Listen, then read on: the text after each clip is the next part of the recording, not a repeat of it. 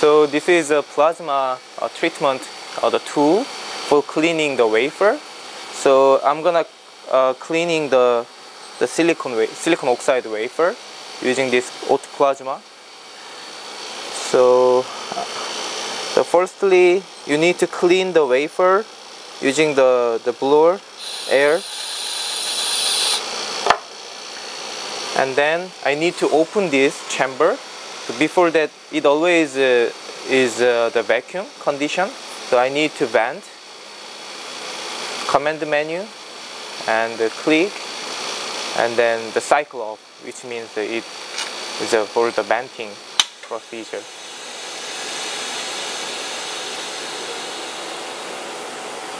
And then you can open the door. Then there is uh, nothing inside now.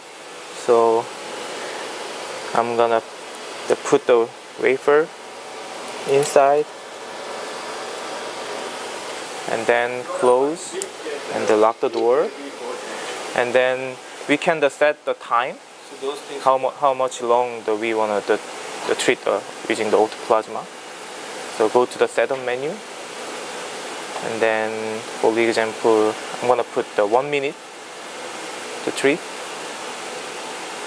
And then go back to the command menu and then plasma means it will make a vacuum and then also the start the plasma treatment. Just in case you should uh, hold the door push push the door a little bit to make sure the, the it make the vacuum. And then you can see the number is going down which means it is now pumping down. The chamber is so if we wait maybe it will automatically start the plasma treatment. After that you don't have to uh, uh, do nothing. Just wait until finishing the plasma. So this gas stabilize means uh, uh, the O2 gas is coming inside and then try to make the stabilize to make sure the same the pressure of the chamber and then now is plasma started and then you can see the a little bit bright the plasma inside. So basically in our lab we don't control the power and then gas flow.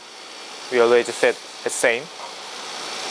So please uh, not touch the power or gas flow wait okay.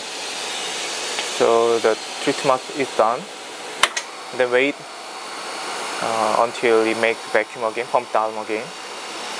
And then we'll see uh, some comment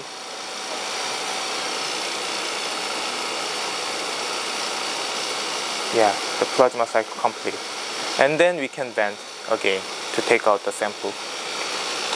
So go to the command menu same as like before the cycle off please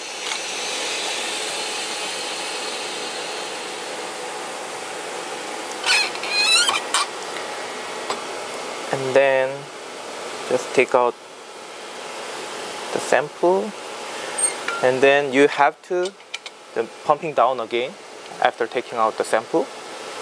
So for this process we don't need this the one minute the long treating time just 10 seconds. And then also push a little bit